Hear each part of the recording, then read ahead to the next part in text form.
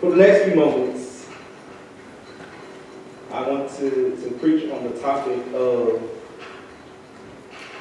from pain comes power. And if you turn in your Bibles to 2 Corinthians, the 12th chapter, beginning at the 6th verse, it reads, Even if I should choose to boast, I would not be a fool because I would be speaking the truth. But I refrain so no one will think more of me than is warranted by what I do say, or because of these surpassingly great revelations. Therefore, in order to keep me from becoming conceited, I was given a thorn in my flesh, a messenger of Satan to torment me. Three times I pleaded with the Lord to take it away from me. But he said to me, My grace is sufficient for you. My power is made perfect in weakness.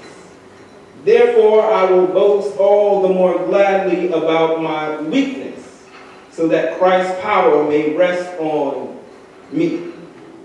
That is why, for Christ's sake, I delight in weaknesses, in insults and hardships, in persecutions and difficulties. For when I am weak, then I am strong. And if you turn also to Romans, the seventh chapter, the 14th verse, it reads, We know that the law is spiritual, but I am unspiritual, sold as a slave to sin. I do not understand what I do. For what I want to do, I do not do, but what I hate, I do. And if I do what I do not want to do, I agree that the law is good. As it is, it is no longer I myself who do it, but it is sin living in me. For I know that good itself does not dwell in me, that is in my sinful nature. For I have the desire to do what is good, but I cannot carry it out. Now, God, as I have called on you, and you have always been there for me, I ask that you would allow me to be here as you have called me to be. Have you ever found yourself trying to do the right thing and meet unexpected hostility and opposition? Have you ever been made to feel as though the right people had been getting on the wrong nerve for just long enough that you had to give them a piece of your mind in the best and most eloquent way possible? While at the same time, you wanted to operate in the context of the phrase that Michelle Obama said, when they go low, we go high. These moments come in many different ways, and many of us have developed innate senses that warn us when some stuff is about to jump off, and we have to prepare ourselves to respond with grace, dignity, and intelligence. We have to brush up on our corporate email appropriate uh, language and we have to go digging for the receipts and the screenshots and prepare ourselves to let any and everybody that cares to know what somebody somewhere has messed up. We have to let everybody know that somebody somewhere has got us messed up and we ain't going to take it. Second Corinthians, to an extent, is a letter from the Apostle Paul Paul is writing to the church about some of the issues that have been brewing between them. He's trying to help them understand in a holy way that they had the wrong one. He's articulating to them in the most saved and sanctified manner that he kept, that he has undergone conversion, meaning that he has not always been saved. So try him if you want to. Yes, in fact, the church at Corinth is now making it so that Paul has to provide evidence and justification that he is who he says that he is, that he's about what he said that he's about, that he can produce what he has been preaching to them and writing to them about. He has to prove to them that he is a follower of Christ worthy of being listened to. And so what followed was Paul's authentic summary of his work as a missionary and the vision that he had and the lessons that he learned in the process. Now this is not to be confused with what we often do in the AME tradition of regurgitating the last annual conference report to prove our merit, but this was Paul saying that he had done the work, that he had been in the field, that he knows God for himself. The texts that have been highlighted are from the letters of Paul writing to the churches in Corinth and in Rome, respectively. In these texts, Paul is lifting up some of his personal issues with being an agent of Christ. And at the same time, he's grappling with the lesser desirable frustrations of his human fallibility. I believe that for each of us, there are moments where we are forced to reconcile within ourselves our perceptions of salvation and redemption and correlate it to this great mess that we call life. And then we have to weigh that against how are we to be followers of Christ, called to do the work of Christ with Christ here on earth to go and spread the message of salvation and redemption that we don't quite grasp ourselves. Yeah. Is mastery a prerequisite to service?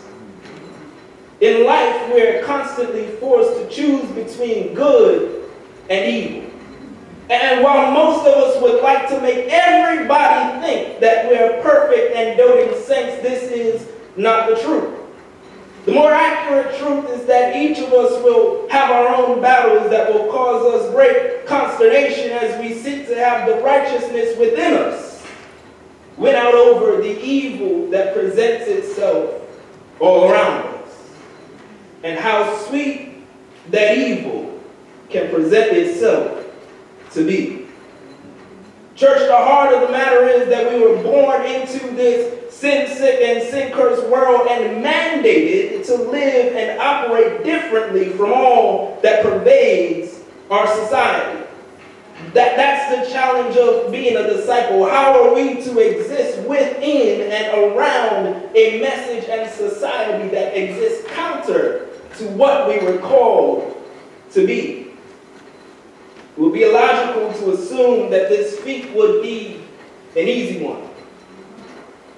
The issues that we battle, the ones that, if exposed, would bring shame upon us and our families and our churches and our God, are the very things we can understand to be the thorns in our side. Those issues that we cannot seem to shake free from that leave us praying to God that He would remove them from us. Paul writes about how this thorn in his flesh left him praying to God that it be removed from him three times. And there is a lot of debate and discussion as to what exactly Paul's thorn might have been. Some say that it was a physical distortion that would have caused him to walk differently or appear hunched or otherwise disabled. Some suggest that it could have been a problem with his eyesight, which would have made his work in organizing and witnessing to those new disciples difficult. Some say that it may have been a speech impediment that caused him to be ostracized and dismissed when he stood in front of the assembled crowds because his words did not live up to his presentation. Yeah. Some say that his ailment could have been a disease that caused him pain and strife. It could have been his temperament where he was moved easily to anger and rebuke. It could have been depression. Whatever it was, we all too have our thorns. Yeah, yeah, yeah. We, we all have those very things that make our service to God difficult and something that we would just as easily ignore. For some of us, our thorns emanate from personal choices and decisions that get in the way of our service to God. Yeah, yeah. For some of us, our thorns are habits and addictions that no matter how much we pray to be healed and delivered, we find ourselves right back where we started time yeah, and time yeah, again. Yeah. No matter how far we think we're moving beyond the situation, we keep finding ourselves in the beginning stages. Uh-huh. For some of us, thorns are hurt that we have not healed from. Uh-huh. For some of us, it's the expectations of others that we don't have the courage or confidence to tell them that we will never live up to or meet. It's interesting when we examine the parallels between these two texts that we encounter a continuous theme. This theme begins with the, the expression of the limitations of humanity. As people who often get full of ourselves, we have a hard time accepting that there are happenings in our lives that we just can't control. And it's when we come up against these barriers that we can't seem to move beyond that we throw in the towel and walk away. It is when we just say, don't bother me with that no more. I gave you my answer. That's it. It's final. It's a done data. Stop. It's interesting when we examine the parallels that we see what Paul was issuing with. Because it's when we have problems and plans that don't work out that we start to lash out. Unfortunately, too often our, when our plans don't work, we start to get righteous and indignant in our thinking that we know what's best and how things are supposed to go. It's a destructive path because we think we get dangerous and we pull others into our mess and they need to be left out of it while we deal with the things that we have to deal with. It's dangerous because more often than not, we are existing in our man or woman created hell, trying to find a Savior when we are ignoring the very Savior that we have. Yeah. We begin gaslighting, making others think that they're crazy and lashing out, blaming them for our failures, and we begin to fight a battle that exists because of ourselves, and that's when we begin to waver in our faith. When we have moments of difficulty, we give in to the defeat that seems as though it will always be looming over our heads because we could not find an easy solution. We give in because we thought we made some progress, but yet here we are again. But only this time we're more frustrated, we're more depleted, and often more angry. When we run into this wall, we even indict God. Yeah. God, how could you let this happen to me? God, why would you put me in this situation? God, I've been faithful. I don't deserve to be treated this way. God, why? Uh-huh. But very few times do we actually submit ourselves to what God is doing, orchestrating beyond the limits of our humanity. Yes. When we disconnect from God and turn our attention to the tangible things of this world, we begin to seek them for our validation and we drift further and further from the will of God. When we seek money and privilege and access instead of righteousness and a closer relationship with God, we hang our hats on a lamppost of dissatisfaction and agony. This is why the most important aspect of this passage in 2 Corinthians is God's response. Yes, yes, yes. God's response is the reason we have to stop throwing in the towel before we've sought out God in the first place. God's response is the reason we have to stop allowing others to dictate the magnitude of our service. God's response is the reason we have something to hold our peace and let God fight our battles. God's response came as a reminder, as an encouragement, and as a warning, and as a threat. Yeah. God simply said, My grace is sufficient for you, for my power is made perfect in weakness. How do you understand the work of God's grace in your moments of weakness? It's in weakness that we become desperate and search for answers. It's at our weakest when we're available yeah. to persuasion and distraction. It's in weakness that we allow temptation to take hold of our minds and direct us down a path that we know is not for us. Uh-huh. Through, throughout history, we can find evidence of choices that were made in weakness that were devastating to generations. It was through weakness that Africans were transported from the shores of their homeland, chained in the bottoms of ships to serve as free labor that built the economic might of the Western world. It was through weakness that the natives of this land were marched across the plains on a trail of tears so that their land might be stolen and appropriated for the execution of the work of the empire. It, it, was through weakness that dogs and hoses were aimed at the poor and marginalized that sought to seek the protections of a country and assert their equality and right to be called human. Yeah. It was and is through weakness that black boys and black girls have been subjected to state-sanctioned violence yeah. on the streets of Ferguson and Baltimore and New York and all across this nation yeah. and all across this world. Yeah. It was through weakness that young black girls go missing and are sold into sex trafficking and nobody says a word. Wow. It's through weakness that the brilliance of the inner city is locked in cages as a result of yes. tough on crime laws been passed by both major political parties that we yeah. still look yeah. to every election cycle yeah. to save us. It's through weakness that the mentally ill are left on the streets untreated and unmedicated. It's through weakness that the poor and destitute are ostracized and stepped over as we make our way to the malls and major shopping centers. Uh-huh. It's through weakness that the church has silenced the voices yeah. of yeah. young men and women seeking to realign the church with God's call because they would not conform to the ideologies of oppression and misappropriation. Yeah. It was through weakness that they in Corinth rejected and questioned Paul. It's in these moments of weakness that through our humanistic understanding we begin to cope.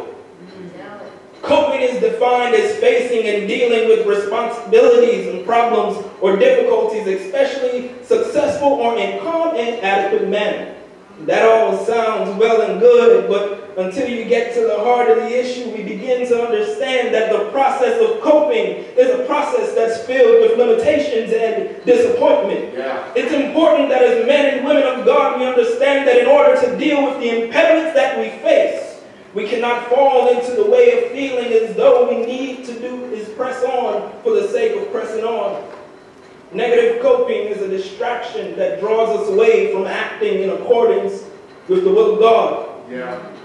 When we cope, we become preoccupied with the distractions that are appealing to our sinful desires. We direct our time and attention towards acts that make us feel good. Uh-huh. We chase gratification and euphoria as opposed to deeper understanding and the meaning for our lives in Jesus Christ. Coping. This negative form of coping is a way of lifting oneself up so that they are not required to give their all to God that we can remain in a place of perceived comfort according to our own standards because it does not require us to deal cognitively. We don't have to think about, we don't have to realize, we don't have to actualize the fact that we are, have realities taking place around us that we just can't handle.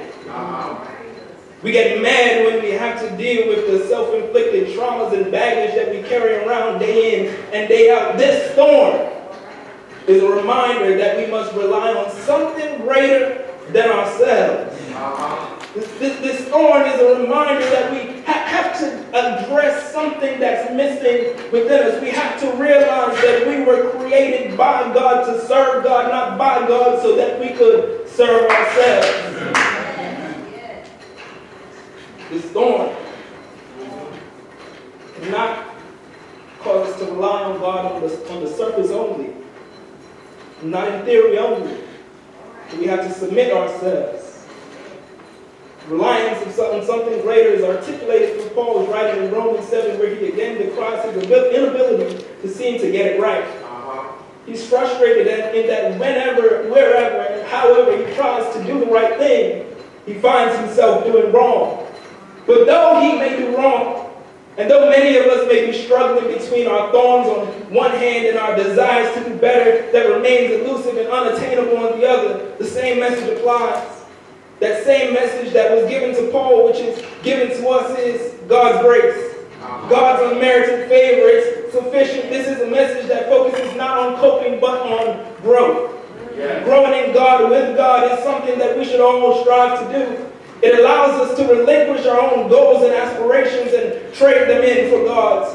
When we begin to grow, we live a life of serving and sacrifice to God by joining in the work of Christ, by serving all those around us. Yeah. By growing, we begin to understand and appreciate that grace that we have been relying on for so long that we never quite understood. God's grace is such that it's been with you all along. It protects you. It provides. It leads and it guides. When we are at our best and at our most ignorance, God's grace is still there. This beautiful thing called grace, which we cannot even comprehend, perfects God's power in our weakness.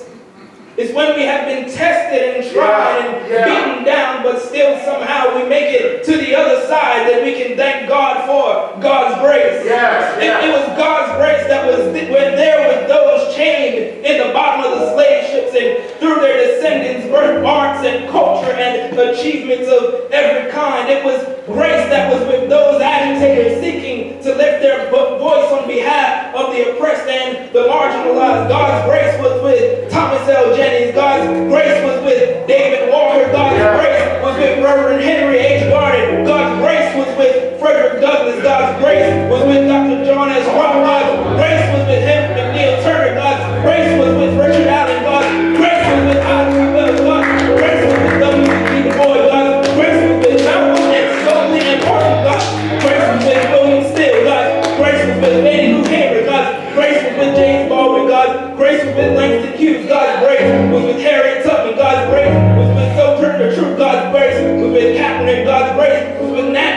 God's grace with Assata and Marcus Garvey and Bobby Seale and Huey Newton. It was with Bob Marley and Tupac. It was with Kendrick and Cole and Chad. It was through grace that those that have been looking down, looked down on as though they were less than, have been lifted up by Christ. It's through grace that the hungry will be fed. It's through grace that the naked will be clothed. It's through grace that the name of Jesus will come down and save each and every one of us free. It's through grace that we've been called to go out into the world proclaiming the good news of Jesus Christ. It's through grace that we are redeemed. It's through grace that